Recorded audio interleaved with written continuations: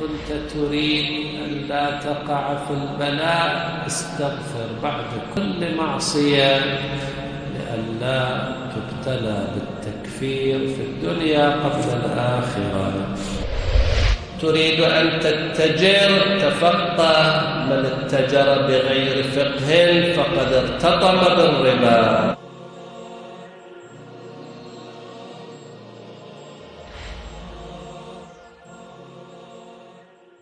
أعوذ بالله من الشيطان اللعين الرجيم. بسم الله الرحمن الرحيم. وأفضل الصلاة وأتم السلام على أشرف الخلق وسيد المرسلين محمد المصطفى وآله الطيبين الطاهرين.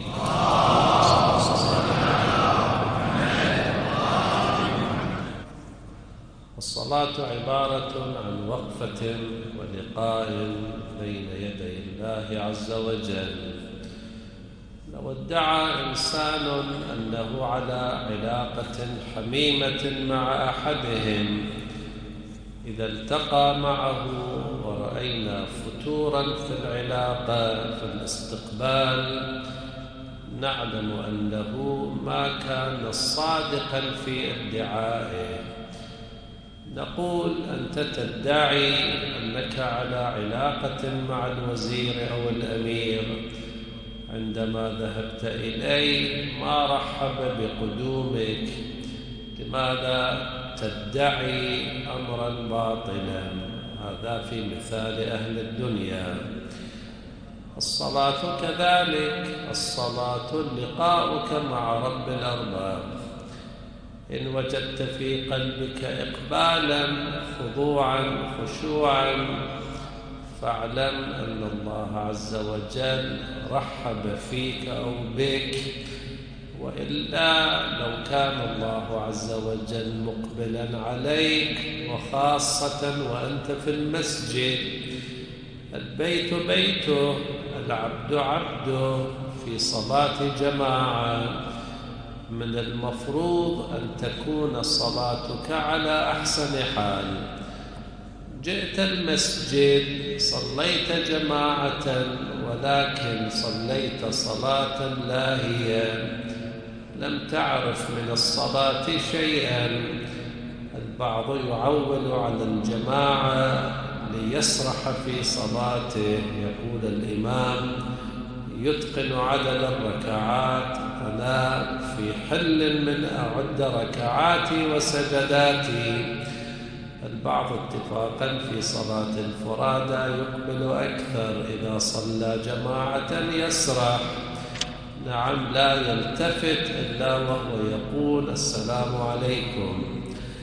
إذا الصلاة وقفة بين يدي الله عز وجل النبي الأكرم يروى عنه هذه الرواية إن الرجلين من أمتي يقومان في الصلاة ولعلهما يصليان كتفا كتفه إلى كتف صاحبه وركوعهما وسجودهما واحد شكلا صلاتهما واحدة وإنما بين صلاتيهما مثل ما بين السماء والأرض.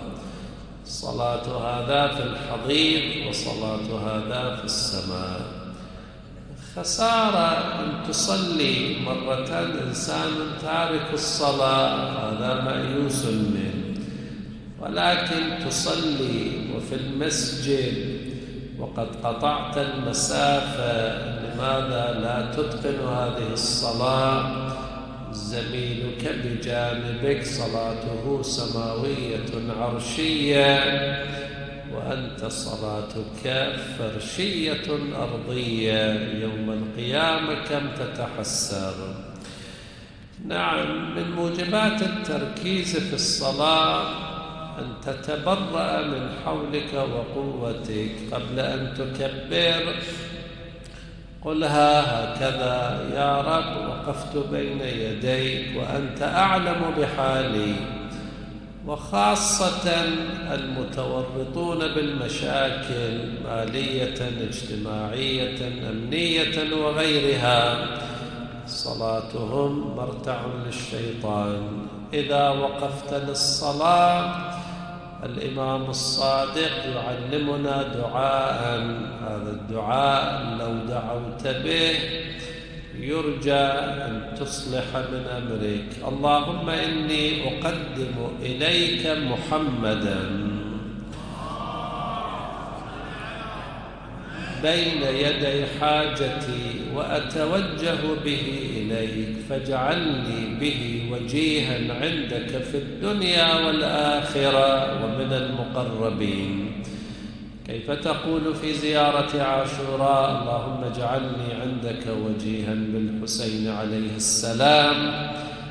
بطريق أو لا تقول اللهم اجعلني عندك وجيها بنبيك. إذا فاجعلني به وجيها عندك في الدنيا والآخرة ومن المقربين. ثم تقول اجعل صلاتي به مقبولا وذنبي به مغفورا ودعائي به مستجابا إنك أنت الغفور الرحيم. إذا توسل إلى الله عز وجل قبل أن تصلي في أن يأخذ بيدك أمير المؤمنين له وصايا لكميل بن زياد. كميل واقعا ما أكثر توفيقه صاحب دعاء كميل الناقل. ونقل لنا روايات أمير المؤمنين. يا كميل ليس الشأن أن تصلي وتصوم وتتصدق. يعني ليس الشأن الكامل وإلا سمعنا بعض الكفار يتصدق بماله بعض من لا دين له له خدمة إنسانية هذه صدقة. البعض يصلي بعد أن ينتهي من الصلاة مباشرة يغتاب. رأينا أطفال دون سن البلوغ يقرأ القرآن من أوله إلى آخره عن ظهر القلب ولكنه طفل لا يعقل. يقرأ القرآن ويلعب كباقي الأطفال. إذا التلاوة الصلاة الصدقة هذا لا يحتاج إلى جهاد عظيم. إنما الشأن الشأن يعني العظمة الفاخر الكمال أن تكون الصلاة فعلت بقلب نقي. لماذا أنت في صلاتك مشوش؟ لأنك إنسان غضوب غضبت على أحد. تصلي وفي الصلاة تصب عليه غضبك. أنت إنسان شهوي خارج الصلاة كنت تنظر إلى الحرام تصلي الحرام يأتي في بالك. إذا المشكلة في القلب القلب غير القلب غير السليم.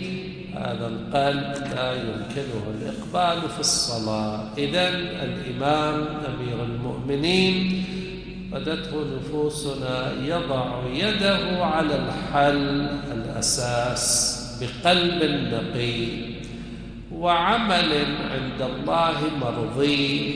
صالحاتك قبل الصلاة أيضا تعينك.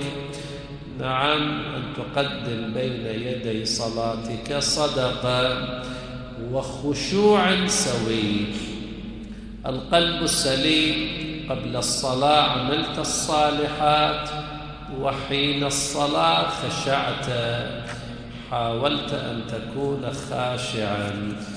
هناك في بعض العبارات أن تتخشع أن تحاول. كيف غير الحليم يتحلم؟ غير الخاشع يتخشع أي يتكلف. مع الأيام يرجى أن يكون خاشعا. كلمة أخيرة ما معنى الخشوع هنا؟ لا صلاة لمن لا يتخشع في صلاته. عن النبي الأكرم.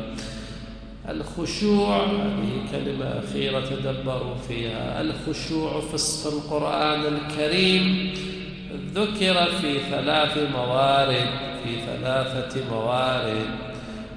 خشوع البصر خش عن أبصارهم في سورة القمر. يوم القيامة أهل المحشر في خشوع الكل خاشع طبعا. بعد فوات الأوان كشف الغطاء. الخاشع ببصره هكذا. نعم من سيمائه يعلم أنه خاشع. وخشوع القلب. ألم يأن للذين آمنوا أن تخشع قلوبهم؟ العين تخشع والقلب يخشع. والصوت يخشع وخشعت الأصوات للرحمن فلا تسمع إلا همسا النتيجة ما لا نريد أن نقول اجمع بين هذه الخشوعات الثلاث في صلاتك. اجعل نظرك خاشعا انظر إلى موضع السجود لا تلتفت يمينا شمالا. صليت في الطواف خلف مقام إبراهيم. لا تنظر إلى الطائفين انظر إلى موضع السجود. إذا خشوع البصر خشوع القلب. وثالثا الصوت الخاشع. بعض الناس يصلي وكأنه يقرأ نشرة الأخبار. وهذه الصلاة؟ رقق من صوتك اجعل لحنك لحنا خاصا. الصوت الخاشع الجميل يثير القلب هنيئا لمن أبكى الغير في صلاته وتلاوته لكتاب الله عز وجل. اللهم اجعلنا من عبادك الصالحين. اللهم لا تسلب منا صالح ما أعطيتنا أبدا. أبلغ سلامنا إلى إمام زماننا واردد إلينا منه السلام والفاتحة مع الصلوات